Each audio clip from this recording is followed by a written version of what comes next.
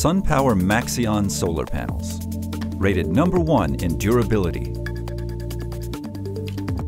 At the core of every solar panel is its cells.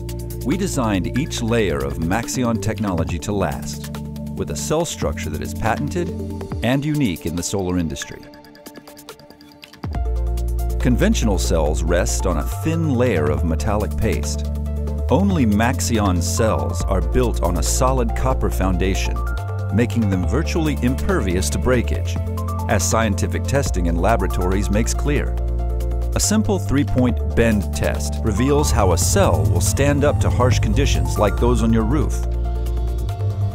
Let's watch.